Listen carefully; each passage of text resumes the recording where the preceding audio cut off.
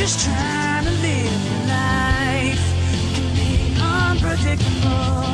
Do you ever think you made the wrong decision? And do you wonder if you ever should have stayed with me?